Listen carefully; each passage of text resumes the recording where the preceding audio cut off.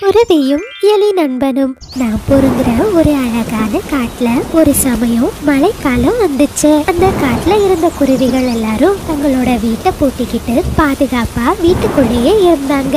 மழைக்காலத்துக்காக அவங்க சேமிச்சு வச்ச உணவை சாப்பிட்டுட்டு ரொம்ப சந்தோஷமா மழைய ரசிச்சுக்கிட்டு இருந்தாங்க. அந்த காட்டுல ஒரு மலையடி வாரத்துல ஒரு சின்ன காளான் வீடு ஒன்று இருந்துச்சு. அந்த வீட்டுல லூசிங்கிற ஒரு அம்மா எலி தன்னோட பையன் மோட்டோ கூட வாழ்ந்து வந்துச்சு.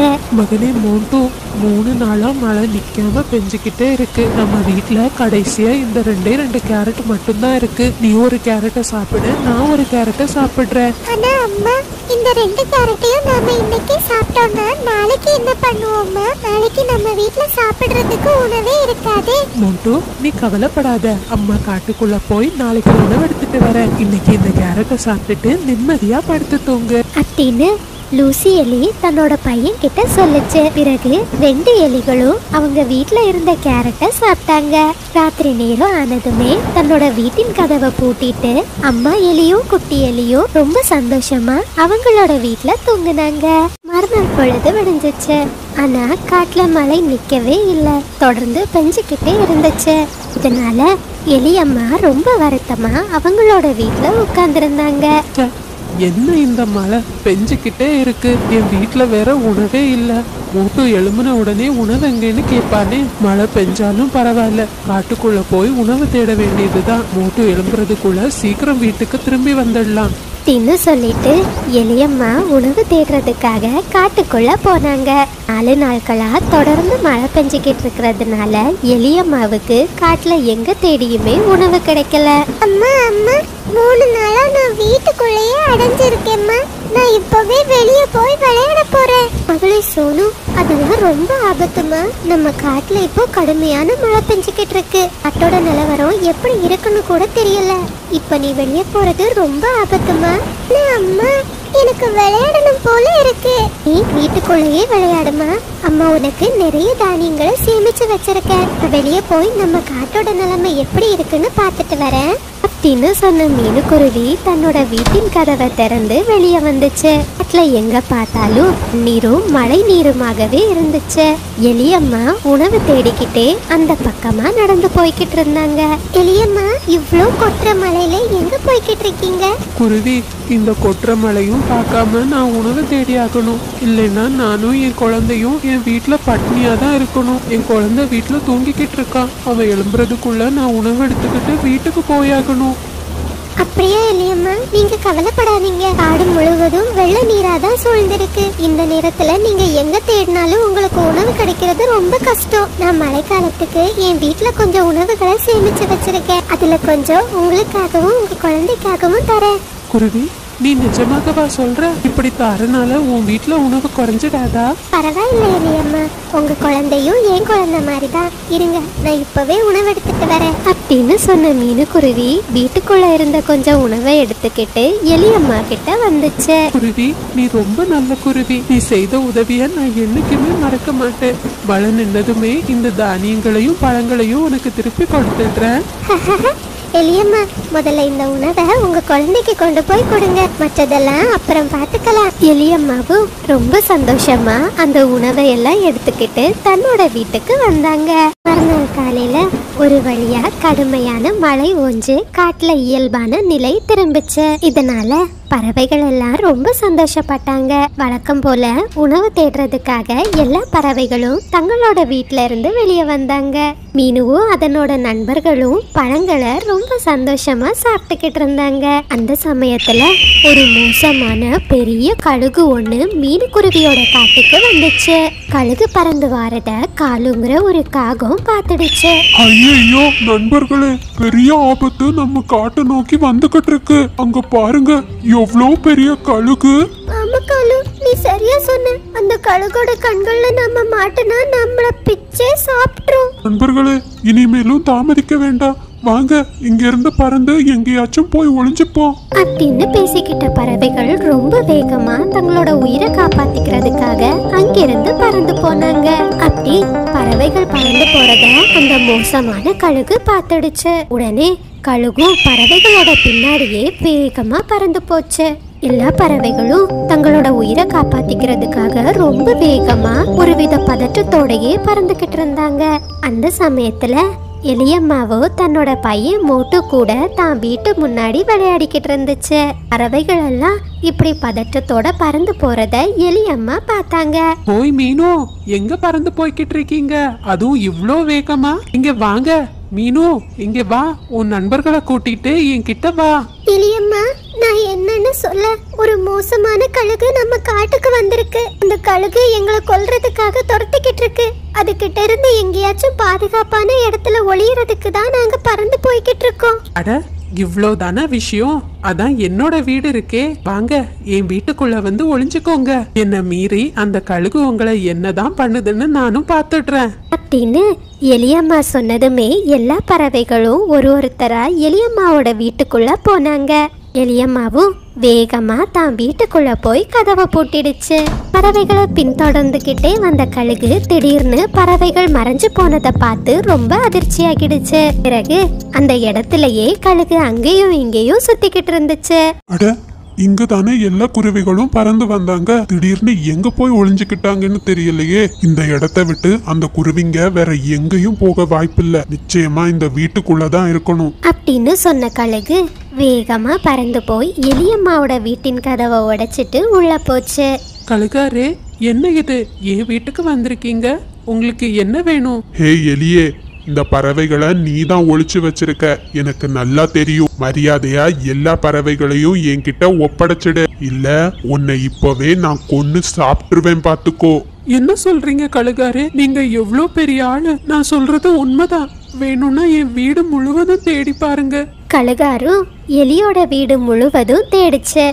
ஆனா எங்கேயுமே எந்த பறவைகளுமே கழுகோட கண்களுக்கு தென்படல. ம் நீ சரியா தான் சொல்லியிருக்க. இங்க எந்த பறவைகளும் இல்ல. இப்பவே நான் அந்த பறவைகளை பிடிச்சாகணும். இந்த சமயம் அவங்க ரொம்ப தூரம் போயிருப்பாங்கன்னு நினைக்கிறேன். அந்த பறவைகள் என்ன ரொம்ப கஷ்டப்படுத்துறாங்க. அவங்களோட இதயத்தை சாப்பிட்டாதான் எனக்கு சந்தோஷம். ஆமா ஆமா கழுகாரே. நீங்க சொல்றது உண்மைதான். இந்த காட்டுல உள்ள பறவைகள் எல்லாம் ரொம்ப புத்திசாலிங்க. நீங்க வேகமா போங்க. அப்பதான் அந்த பறவைகளை பிடிக்க முடியும். கழுகு ரொம்ப கோபமா எலியம்மாவோட வீட்ல இருந்து வேகமா பறந்து போயிடுச்சு. கழுகு வெளியே பறந்து போனதுமே எலியம்மா தன்னோட ரகசிய வலைய திறந்தாங்க. கழுகு வாரதுக்கு முன்பாகவே எலியம்மா தன்னோட ரகசிய வலைக்குள்ள எல்லா பறவைகளையும் தன்னோட பையன் மோட்டுவையும் அனுப்பி வச்சாங்க. பறவைகள் எல்லாரும் அந்த ரகசியமான வலைக்குள்ள ரொம்ப பத்திரமா ஒளிஞ்சுக்கிட்டாங்க.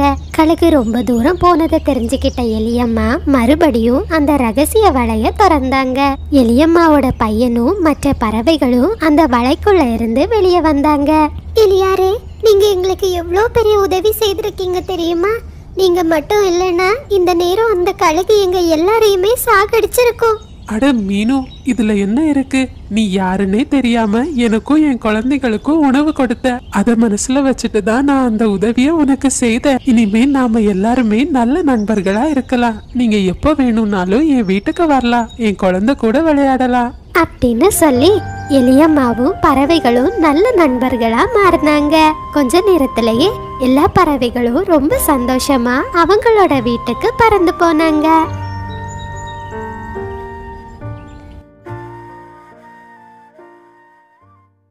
குழந்தைகளே இந்த கதை உங்க எல்லாருக்கும் பிடிச்சிருக்கும்னு நம்புறேன். இந்த கதையில இருந்து நாம என்ன தெரிஞ்சுக்கலாம்னா நாம மற்றவங்களுக்கு செய்த உதவி ஏதாவது ஒரு வடிவில நம்ம கிட்டயே திரும்பி வரும். அதனால நம்மளால முடிஞ்ச உதவிகளை என்னைக்குமே மற்றவங்களுக்கு செய்துகிட்டே இருக்கணும்.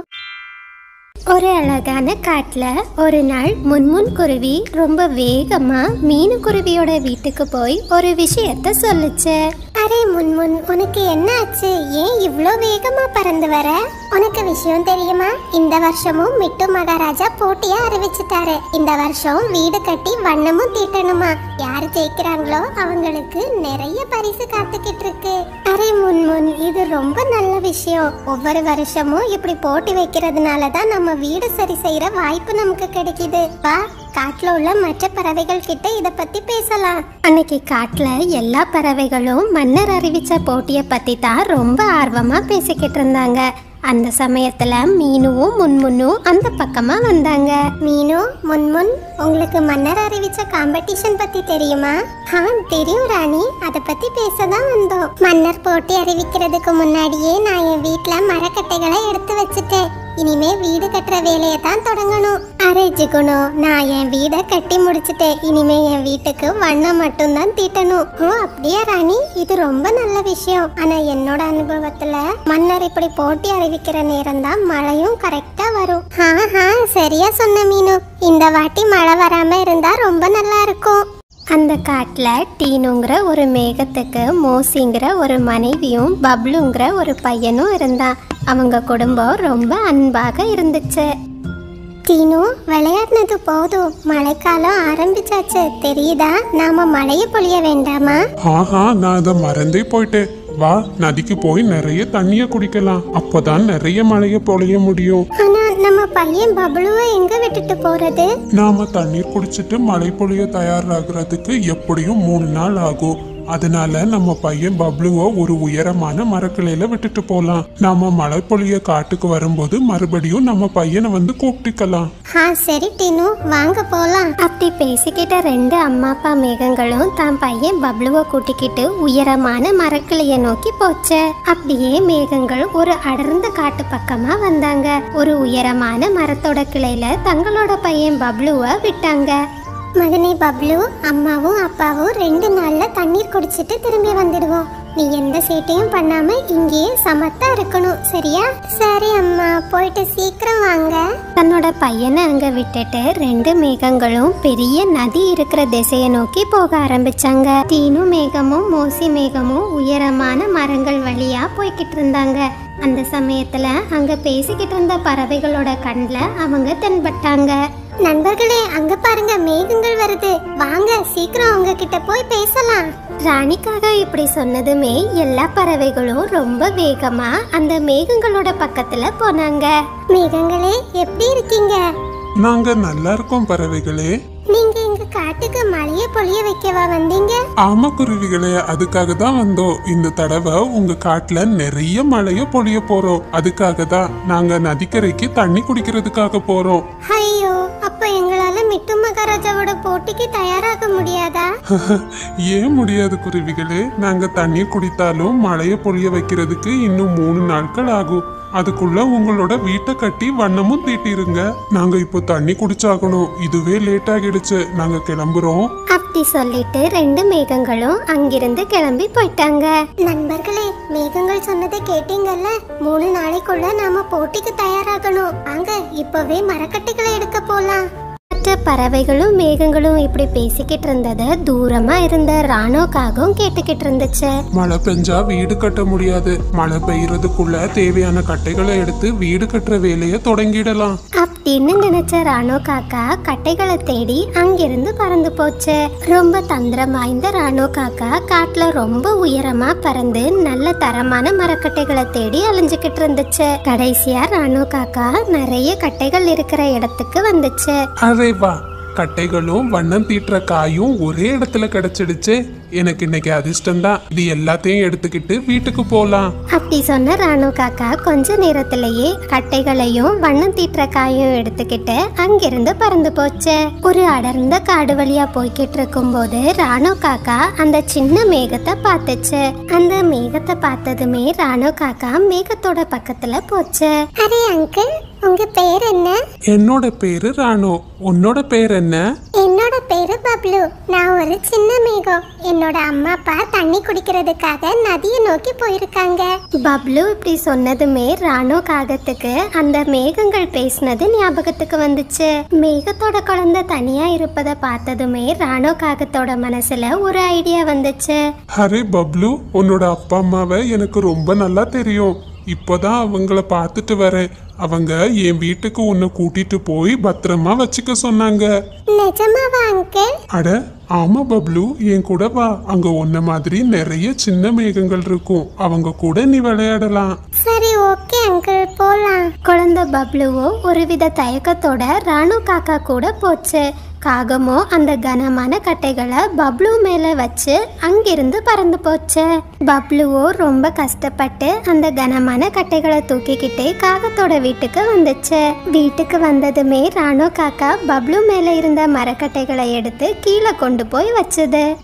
பப்ளு குட்டி இதுதான் என்னோட வீடு. உள்ள உன்ன மாதிரி நிறைய மேகங்கள் இருக்கும். போ அவங்க கூட போய் விளையாடு. காக்கா சொன்னதை உண்மைன்னு நம்பின சின்ன மேகமோ ரொம்ப வேகமா காக்காவோட வீட்டுக்குள்ள போச்சு. வீட்டுக்குள்ள போனதுமே ராணோ காக்கா கொஞ்ச நேரம் கூட தாமதிக்காம வீட்டோட கதவை பூட்டிடுச்சு. அரே அங்கிள் அரே அங்கிள் என்ன பண்றீங்க? என்ன வெளியே விடுங்க. கதவை தரங்க கதவை தரங்க ஹே பப்ளு சத்தம் போடாம அமைதியா இரு. உன்னை வச்சு தான் நான் ஒரு பெரிய காரியத்தை செய்து முடிக்க போறேன். ரெண்டு நாள்ல நானே உன்னை இந்த வீட்டோட கதவை திறந்து வெளியே விட்டுருவேன். அது வரைக்கும் எந்த சத்தமும் போடாம இங்கேயே அமைதியா இருக்கணும். அப்படி சொன்ன ராணோ காக்கா கட்டைகளை எடுத்துக்கிட்டு அங்கிருந்து பறந்து போச்சு. அப்பாவி பப்ளுவோ அந்த வீட்டோட கதவை திறக்க முடியாம ரொம்ப கஷ்டத்தோட அடைபட்டு கிடந்துச்சு.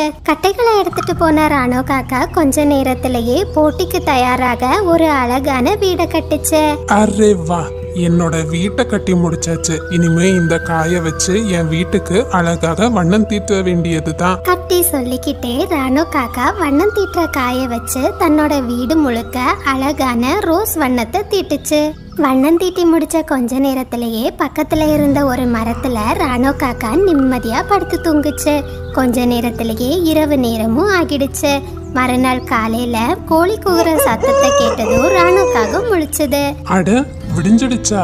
இனிமே எந்த மலையிலயும் என்னோட வீட்டுக்கு எதுவும் ஆகாது. இனிமே போய் மற்ற பறவைகளோட வீடை நான் நாசம் பண்ண போறேன். அப்படி சொன்ன ராணோ காக்கா ரொம்ப வேகமா தன்னோட திட்டத்தை செயல்படுத்துறதுக்காக அங்கிருந்து பறந்து போச்சு. அப்பாவி பப்ளுவோ அந்த வீட்ல இருந்து வெளியே வர முடியாம தன்னோட அப்பா அம்மாவை நினைச்சு ரொம்ப அழுதுகிட்டு இருந்துச்சு. போகிற வழியெல்லாம் ராணு காக்கா பறவைகள் போட்டிக்காக தன்னோட வீடை தயார்படுத்துறத பார்த்துக்கிட்டு இருந்துச்சு. இத பார்த்த காக்கா மனசுக்குள்ள சிரிச்சுக்கிட்டே அங்கிருந்து பறந்து போச்சு. அப்பாவி பறவைகள் இன்னும் கொஞ்ச நேரத்துல என்ன நடக்க போகுதுன்னே தெரியாம வண்ணம் தீட்டுறாங்க. அதே சமயத்துல டீனோ மூசி மேகங்கள் நிறைய தண்ணிய குடிச்சிட்டு மழை பொழியறதுக்கு தங்களை தயார்படுத்திக்கிட்டு இருந்தாங்க.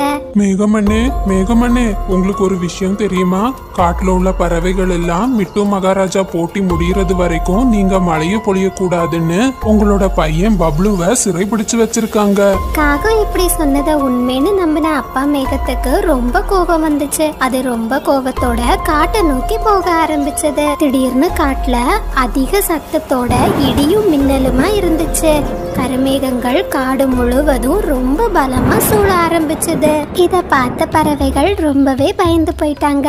தங்களோட காட்டுக்கு ஏதோ கெடுதல் வரப்போகுதுன்னு நினைச்சாங்க. அரே மீனு மழை மேகங்கள் இன்னும் ரெண்டு நாள் கழிச்சு தானே நம்ம காட்டுக்கு மழைய பொழிவேன்னு சொன்னாங்க. வானிலைய பார்த்தா மழை பெய்யும் போல இருக்கு. இப்போ நம்ம வீட்டுக்கு தீட்டின வண்ணங்கள் எல்லாம் ஹே சிறிய பறவைகளா? என் பையனையே நீங்க சிறைபிடிக்கிறீங்களா? உங்களுக்கு நான் யாருன்னு காட்டுறேன். அப்படி சொன்ன மேகமோ ரொம்ப கோவத்தோட அந்த காடு முழுவதும் சூழ்ந்து மிக கடுமையான மழையை பெய்ய ஆரம்பிச்சது. பப்ளு பப்ளு மகனே பப்ளு நீ எங்க இருக்க? அம்மா வந்திருக்கேன்டா. நீ எங்க இருக்கேன்னு சொல்லு. அப்படின்னு பப்ளுவோட அம்மா ரொம்ப கவலையா தன்னோட பையன் பப்ளுவை தேடிக்கிட்டு இருந்தாங்க. பப்ளுவோட அப்பா ரொம்ப கடுமையா மழையை பொழிஞ்சுக்கிட்டே இருந்தாரு. இதனால பறவைகளோட வீட்டுல இருந்த வண்ணங்கள் எல்லாமே அப்படியே அழிஞ்சு போயிடுச்சு. பப்ளுவோட அம்மா பப்ளுவை தேடிக்கிட்டே காகத்தோட வீட்டை கடந்து போனாங்க. வீட்டுக்குள்ள இருந்த பப்ளுவோ தன்னோட அம்மாவை பார்த்ததுமே அந்த வீட்டோட கதவை உடைச்சுக்கிட்டு வெளியே வந்துச்சு. அம்மா அம்மா நான் எங்க அம்மா நான் இங்க இருக்கேன். என்ன பாருங்க. ஆனா அதிக மழையும் இடி சத்தமும் இருந்ததுனால பப்ளுவோட அம்மாக்கு பப்ளு பேசுனது கேட்கல அம்மா அப்பா இங்க பாருங்க. நான் இங்க இருக்கேன். அப்பா இங்க பாருங்க. பப்ளுவை பார்த்ததுமே ரெண்டு மேகங்களும் அமைதி நிலைக்கு வந்தாங்க. அம்மா அப்பா இந்த பாவப்பட்ட பறவைகள் எதுவும் செய்யல. என்ன அந்த காகம் தான் சிறைபிடிச்சு வச்சிருந்துச்சு. ஓஹோ அப்படியா? நீங்க ரெண்டு பேரும் இங்கே இருந்துக்கோங்க. அந்த காகத்துக்கு நான் யாருன்னு காட்டிட்டு வரேன். அப்படி சொன்ன மலைமேகமோ நேரா காகத்தோட வீட்டுக்கு போச்சுது. ரொம்ப கோவத்தோட மின்னலையும் மின்ன வச்சுது. அந்த மின்னல்ல காகத்தோட வீடு ரெண்டு துண்டா உடைஞ்சு போச்சு. இத பார்த்த ராணோ காகமோ ரொம்ப வேகமா அங்கிருந்து தப்பிச்சு போக முயற்சி செய்தது. ஆனா மேகமோ ராணு காகத்தை தன்னோட மேக ஜெயில அடைச்சது. பறவைகளே என்ன மன்னிச்சிடுங்க. உண்மையா என்ன நடந்ததுன்னு தெரியாம நீங்க தீட்டின வண்ணத்தை நான் அழிச்சிட்டேன். ஆனால் கவலைப்படாதீங்க. உங்களோட வண்ணங்களை நான் திருப்பி கொடுத்துடுறேன். அப்படி சொன்ன டீனு மேகம் காட்டில் இருந்த எல்லா பறவைகளோட வீட்டின் வண்ணத்தையும் திருப்பி கொடுத்துச்சு. இதை பார்த்த பறவைகள் எல்லாரும் ரொம்ப சந்தோஷம் ஆயிட்டாங்க. மேகங்களோ தன்னோட பையனை கூட்டிக்கிட்டு ரொம்ப சந்தோஷமா அந்த காட்டை விட்டு தங்களோட இடத்துக்கு போனாங்க. பசங்களா இந்த கதையிலேருந்து நாம என்ன கத்துக்கிட்டோம்னா முன்பின் அறிமுகம் இல்லாதவர்கள் எங்கு கூப்பிட்டாலும் நாம நண்பர்களே இது சப்ஸ்கிரைபர் விருப்பத்திற்கான நேரம். மனிஷா உங்களுக்கு இனிய பிறந்த நாள் நல்வாழ்த்துக்கள். வாழ்க்கையில் எல்லா வளங்களையும் பெற்று நலமுடன் வாழ வாழ்த்துகிறேன். ஜெய் கிருஷ்ணன் ரிக்ஷிதா மேகா தர்ஷினி தர்ஷினி. எல்லா குட்டீஸ்க்கும் ஒரு பெரிய ஹாய் அசானா பாத்திமா உங்களுக்கு இனிய பிறந்த நாள் நல்வாழ்த்துக்கள். வாழ்க்கையில் எல்லா வளங்களையும் பெற்று நலமுடன் வாழ வாழ்த்துகிறேன். அமுதா ஸ்ரீ ஹர்னி பிரியா ரெண்டு குட்டீஸ்க்கும் ஒரு பெரிய hi hi Ahalya Gautham. Hi Praneetha Molina பாப்பா ஹபீஷ் ரெண்டு குட்டீஸ்க்கும் ஒரு பெரிய ஹாய். ஹாய் பிரபா ரித்தீஷ் யோகேஷ். ரெண்டு குட்டீஸ்க்கும் ஒரு பெரிய ஹாய். ஹாய் அக்சன் பிரனிஷா உங்களுக்கு இனிய பிறந்த நாள் நல்வாழ்த்துக்கள். வாழ்க்கையில் எல்லா வளங்களையும் பெற்று நலமுடன் வாழ வாழ்த்துகிறேன். உங்கள் குடும்பத்தினருக்கும் என்னுடைய பெரிய ஹாய் இன்றா பாப்பா உங்களுக்கு இனிய பிறந்தநாள் நல்வாழ்த்துக்கள். வாழ்க்கையில் எல்லா வளங்களையும் பெற்று நலமுடன் வாழ வாழ்த்துகிறேன். தக்ஷதா பிரியா பூவழகி மாதேஷ் தேவிகா எல்லா குட்டீஸ்க்கும் ஒரு பெரிய ஹாய் ஹாய் ரூபி பிரீத்தி புகழினி யாஷிகா கௌசல்யா எல்லா குட்டீஸ்க்கும் ஒரு பெரிய ஹாய் லியோ ஆண்டோ வதனி மகதி ஆருத்னில் எல்லா குட்டீஸ்க்கும் ஒரு பெரிய ஹாய். நீங்கள் அனைவரும் அளித்து வரும் அன்புக்கும் ஆதரவுக்கும் மிக்க நன்றி.